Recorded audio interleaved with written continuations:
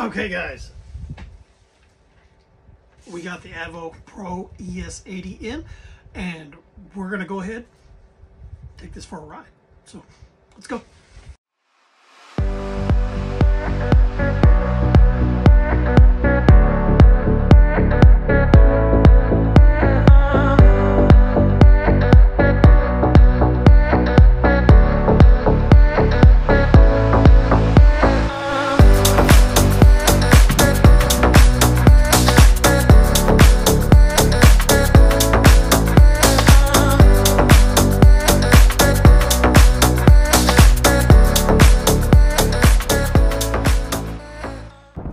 Okay, so we got the ES80 actually sent to us, and so far I've taken it out for a little bit of a ride, gone about four and a half miles, uh, down two bars on the uh, the little voltage meter thing right there, and this thing is fast. This is the ES80.